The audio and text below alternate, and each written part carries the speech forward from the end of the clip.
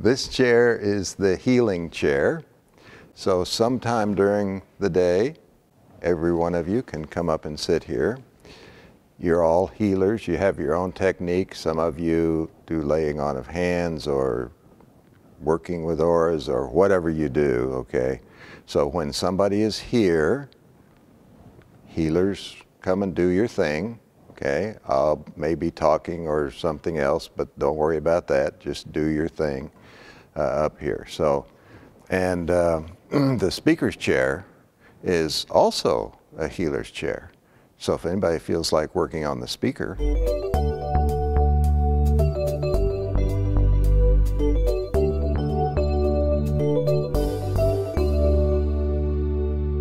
Okay, everybody got your uh, notebooks?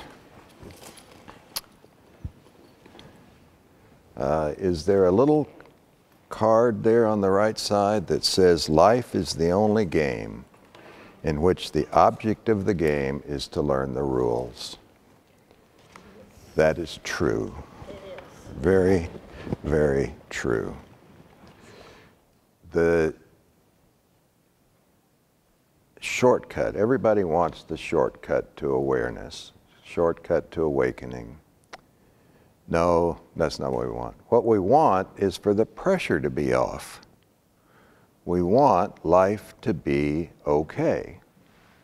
And that's our motivation. Okay? Now that's good. People think, no, I should be seeking God or something.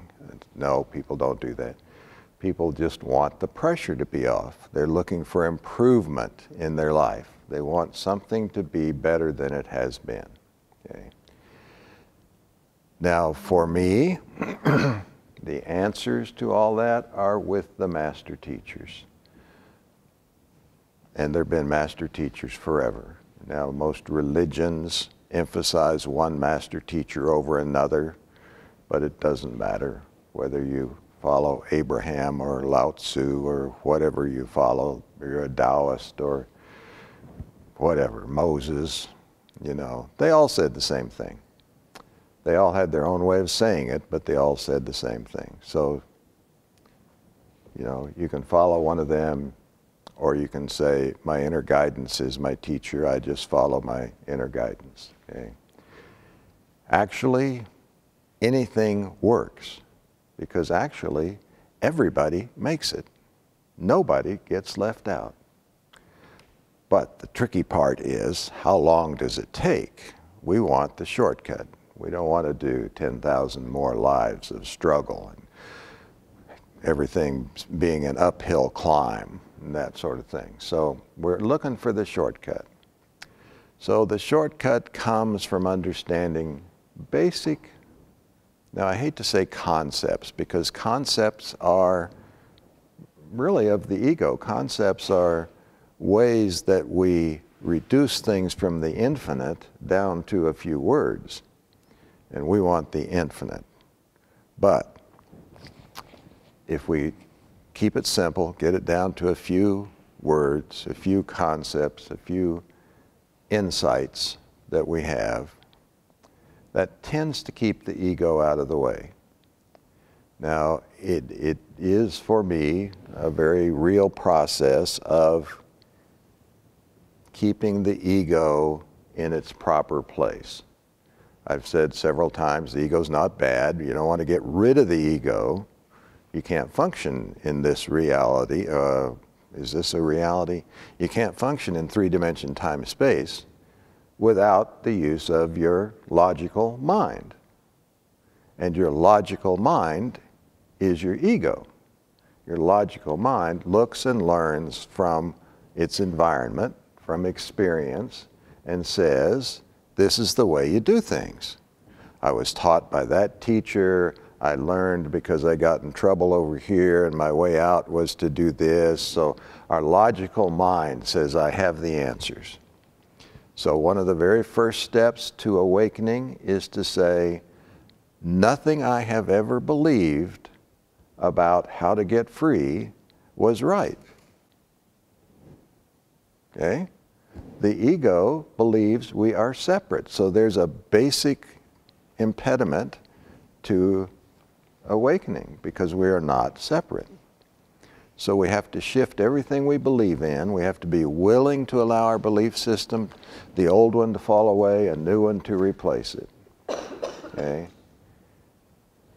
I just always go back to whoever my favorite master teacher is at the moment. And what did they say? What did they not say? You know, they never said, this is going to be tough.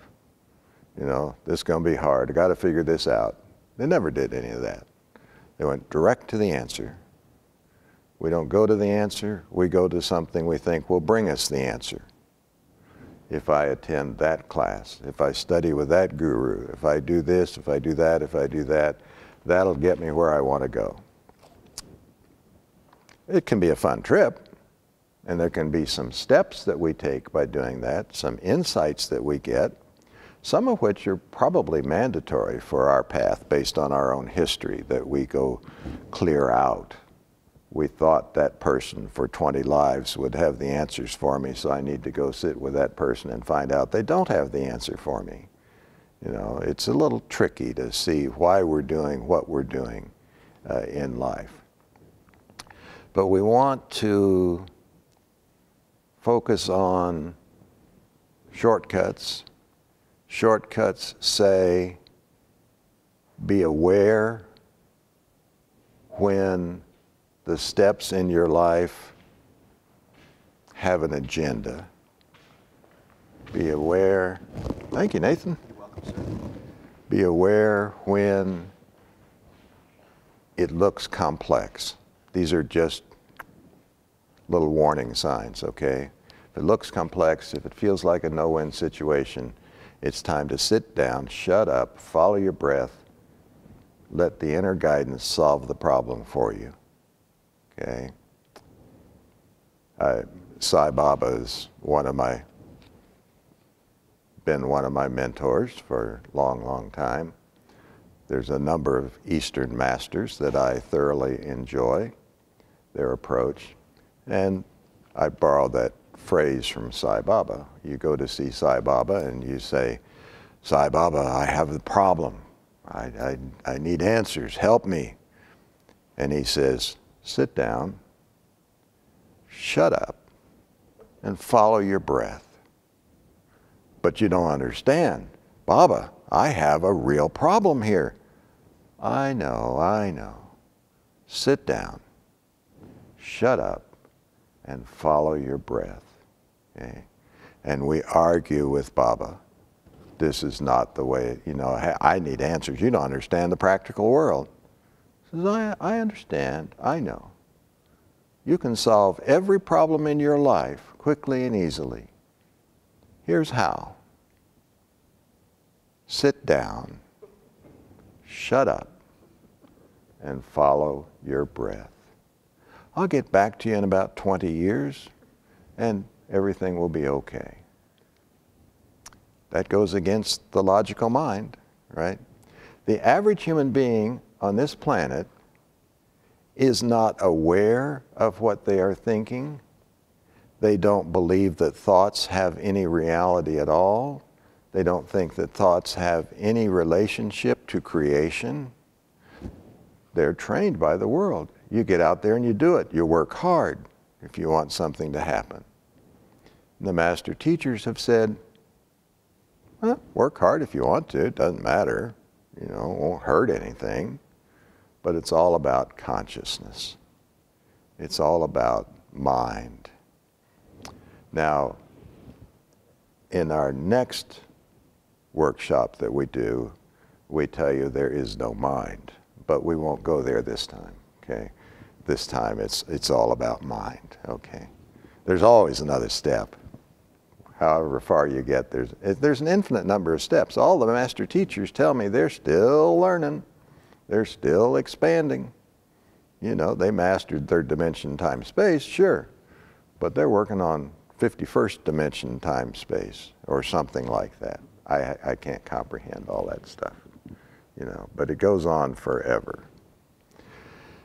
And of course, that's a lie because forever implies time and there is no time. So, you know, we want to start off by saying, I don't know anything The ego defends its belief system, always defends its belief system. You challenge my beliefs, I'm going to stand up for what I believe.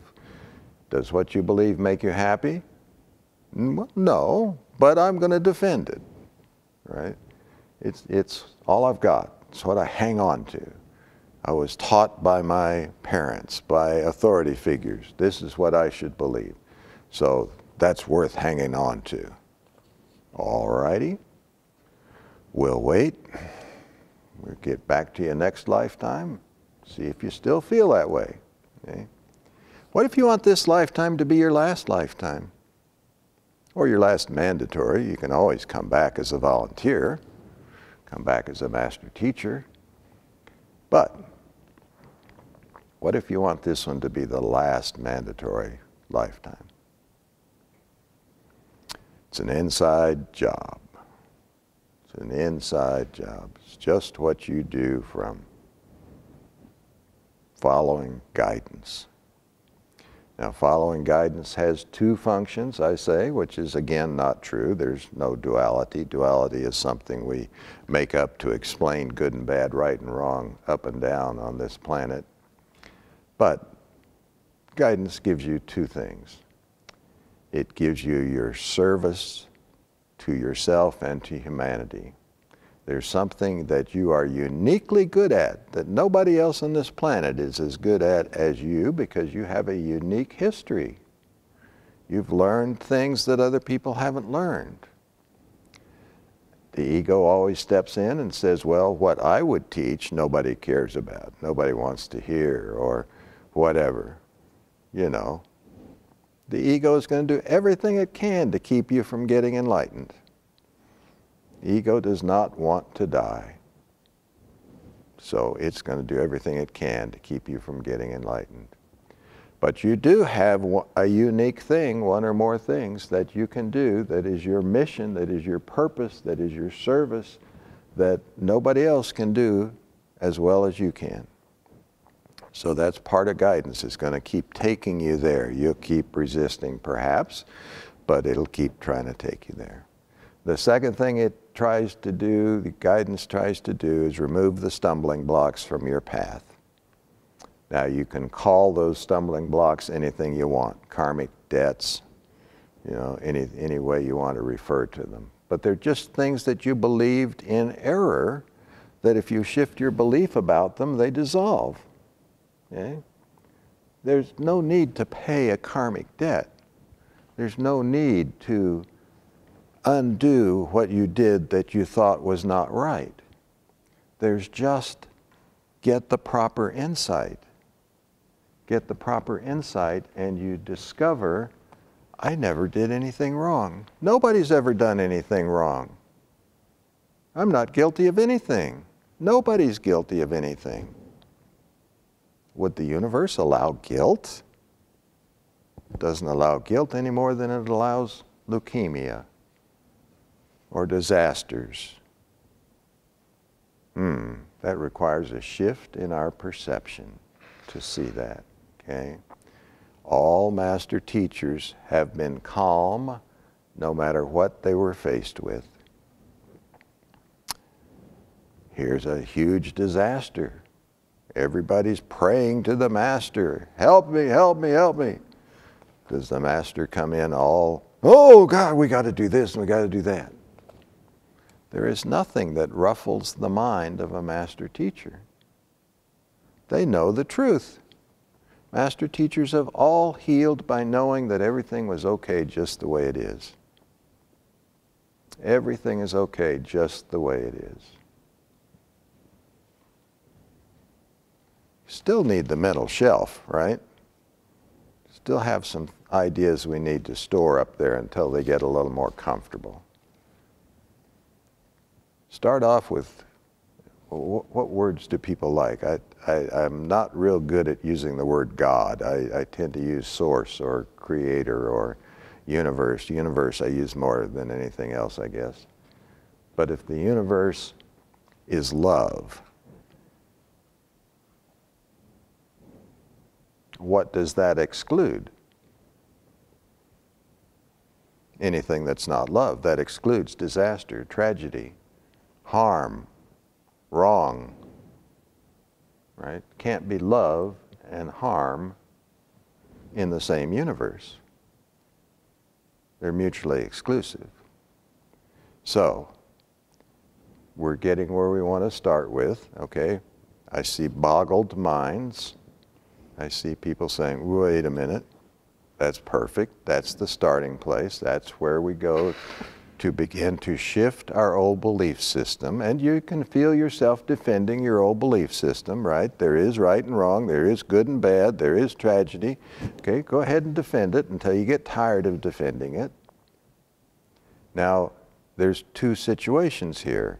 One, when we're sitting in a class talking theoretically, which is what this feels like. Another, when you're the one out there in the tornado in Oklahoma City, right? Now, how do we maintain this consciousness when we're in the middle of the tornado? Okay. We just do the best we can.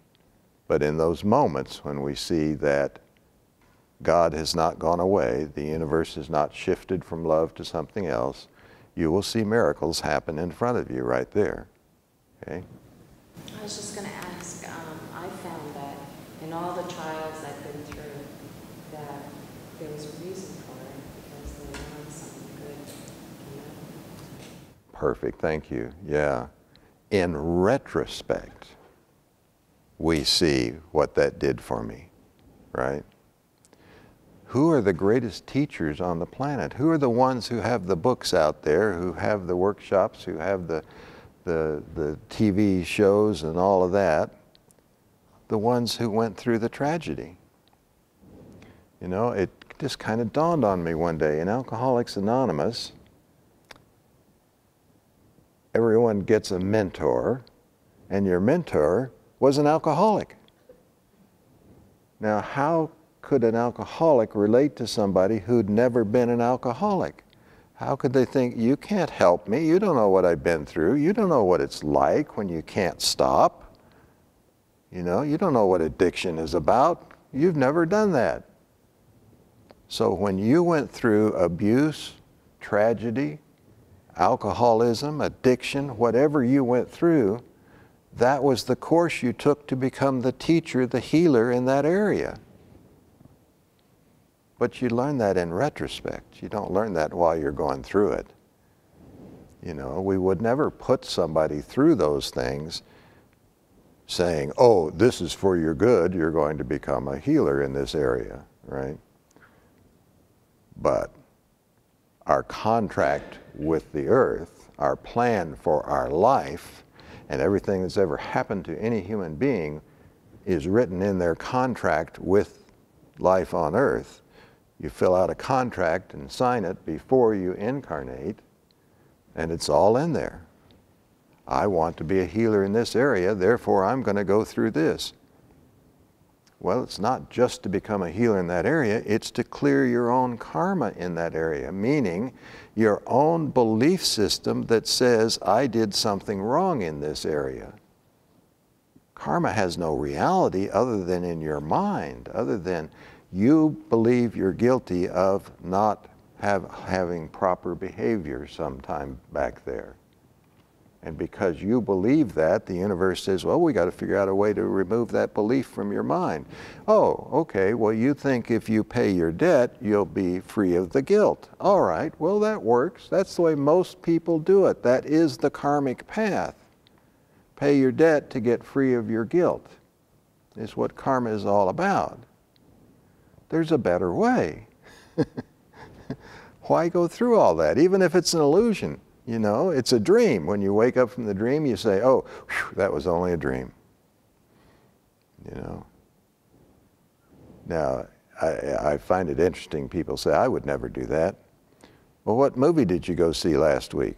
Oh, the, the treachery of the demons of the deep of the whatever, right? We'd love to have the hell scared out of us. So we buy, pay 10, 15 bucks to go see a, a, a movie that will leave us terrified. But we know that when the house lights come on, we can say, That was just a movie. Hey, pretty good flick, wasn't it? Yeah. Yeah. That's what life is. And that doesn't mean when your neighbor's house burns down, you go over and say, Well, it was your thoughts that created your house burning down. Let's examine your thoughts and see where your burning thoughts are. You know, that's just not helpful. you know, helpful. The ego thinks it can solve people's problems and find answers for people. The ego can't do that. You want to help somebody? What do you do? Be there. Just be there. Right? If they need to spew out something about how bad it was, just be there. Let them spew. Right? If you're trying to tell them that their way of thinking is incorrect, that brings up every defense mechanism they have. They're going to defend whatever they've been saying, defend their belief, defend their guilt, defend their belief they've been harmed. You know, the way around that is just be there for them. You know, nobody resists hugs, right? Just be there. Just hold hands. Something. All correction belongs to the spirit realm, not to the ego realm. All correction belongs to the spirit realm. All correction belongs to the spirit realm. Now, you can be a facilitator for that correction by being there. Not by trying to tell them what they did wrong, but by being there. As they calm down, the spirit realm comes in and works with their mind. We don't do the healing. You wouldn't know how to heal anything. You don't. Mm-mm. If you're good at your healing technique, the greatest value you have while you're performing a healing is be there, be real, be love, be present. You, everybody is a channel. Everybody's a slightly different form of channel. But when you're doing your healing work, it is the fact that you are a channel for the healing that does the healing. It's not your mind, it's not your belief system, it's nothing you can do. It's not that you had your hands in the right place at the right time. If you're following guidance, your hands will be in the right place at the right time. You just be open to the inspiration and guidance of the spirit realm, and you are used as a channel, and the spirit realm flows through you and does the healing. Jesus said, Of myself I can do nothing. It's the Father within that does the works. That's true for all of us. We cannot do anything. We don't even know why we're here. We don't know anything about life. We don't know what anybody needs. We don't know anything. Big sign on the refrigerator I know nothing. And that opens you up to learn the next step. It's an ego battle. Ego wants to defend. We were taught your self worth comes from what you know. Your self worth comes from being right, from winning the argument. Got to let go of that self worth. You have self worth for one reason and one reason only. You are a child of God. Can't do any better than that. That's the only reason you have self worth. That's who you are. Nothing to do with how smart you are, what you know, how educated you are, how many arguments you've won. You're just you. Ah, well, it takes the pressure off, really, if you stop and think about it. When you have to have the right answer and you have to be right and you have to win the argument, that's a lot of pressure. That exhausts us. That wears us out quickly. But if I'm just me, And I didn't even create me. The universe created me. I, I'm not guilty of anything. I didn't do anything right or wrong. I'm just me. Boy, that's an easy path. Ah. You know you're following guidance when you feel relaxed.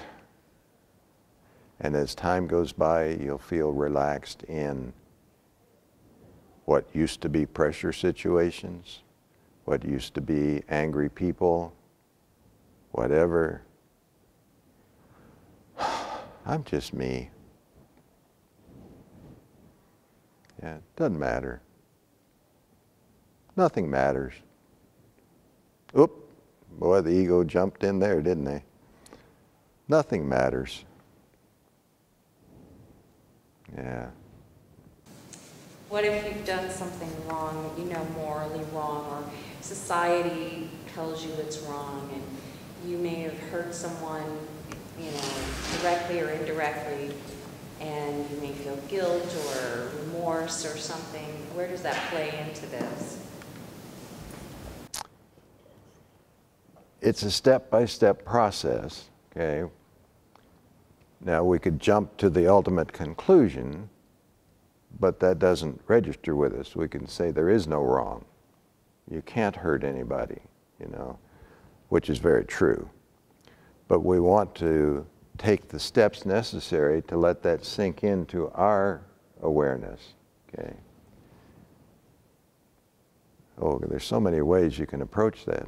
You and the other people, whoever was involved, are the same person. You just hurt yourself, but then you're not really You hurt. just hurt yourself. But where does all hurt take place? In your mind. You think you did this. You saw that. Everything happens in here. Okay? So,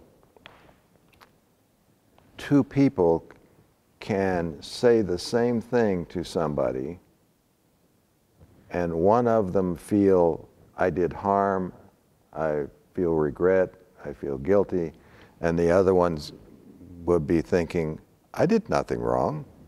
You know, that was fine. It's a personal judgment. Everything we did wrong is a personal judgment. It's a judgment of ourself. It's not an absolute right or wrong. There is no absolute right or wrong. Okay? So whatever metaphors, allegories work for you, okay? Allegory number one. Everybody enrolled for every experience they have because it would assist them in their growth.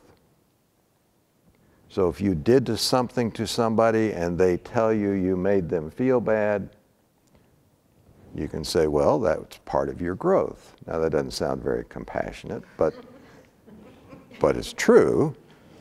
It's true. There are no victims. Nobody was unfairly treated. The universe is love, and love does not allow unfair treatment. Got to come around to love is perfect. You know, love has all the answers. But if you, if there's no right or wrong, why are there societal rules about you mustn't do this, you must do this, you mustn't do that, you must do this? Otherwise, it would be a free-for-all, wouldn't it? Yeah, it starts, it starts out that way. Oh, well, let's, let's uh, go back to why we're here. Why would anybody enroll in planet Earth? Why, why do we feel separate from everybody? Why do we have struggle and pain?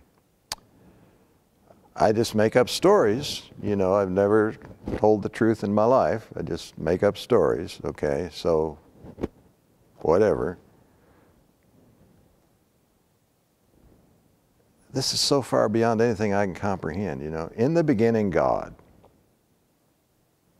When I was a, uh, a kid, I don't know, 10 or 12 or something, I was at a summer camp and they had a, had little plays and I got to be the, I was the narrator. I was not on stage, but I was giving the point of view of God, I guess, or the universe or something. Anyway, I remember saying, and God was lonely, so God created man. Well, What nonsense. God lonely? You know, God missing something? Whatever. But for some reason, individualizations of God were created. I can't tell you why. And there is no individualization other than in our mind. So, God, I don't you got better stories than I do, probably. You could make up better stories about the beginning of everything. I don't know. So here's God. God breaks off individualizations of the self so that God can know itself from another point of view. Is that totally ridiculous? I have no idea. So we're individualized, but we're still God. So God says, Well, but nothing has changed. You're still God. You know you're God. You know, you're still me. I, I can't see you as you because you're individualized, but you're still made of me. Okay, well, let's give you amnesia. You forget me, God, and work your way back to remembering me. Gets pretty deep, doesn't it? And in the process of working your way back to remembering me, you will pick up characteristics of the individual, which will make you different from the other individuals on the one hand, but you won't really be different because you'll still be me. I, I, I don't know. Anyway, so we start off as individuals trying to deal with other individuals with amnesia of who we really are. And so we start butting heads and wanting control and wanting power and wanting to acquire the infinite. And we only know how to do that a piece at a time. So it'll be a car here and a house there and a this or that, you know, as we go along. And I guess that all has benefit because the ultimate result is you're going to merge back into God, but the tricky part is you will not lose your individuality. You'll be the one, but you'll still have your individuality. So everything we're doing, looking like we're interacting in some way, is to create our unique individuality. It scares me when people write down my weird stories like this. you can make up as good a story as I can about what this is all about. The metaphors like that help at all? I don't know. Yeah. You know, it, this is not reality. Nothing on planet Earth is what it appears to be. Somewhere along the way, we have to, even though we don't comprehend the truth, somewhere along the way we have to keep reminding ourselves of the truth. The universe is love, and love would not allow harm. Love would not allow me to make a mistake. Love would never allow me to harm another individual. You know, that's outside the realm of love. That can't happen. And I'm going to forget that 90% of the day and believe I'm interacting with a separate individual every time I talk to somebody, but I just remind myself as often as I can.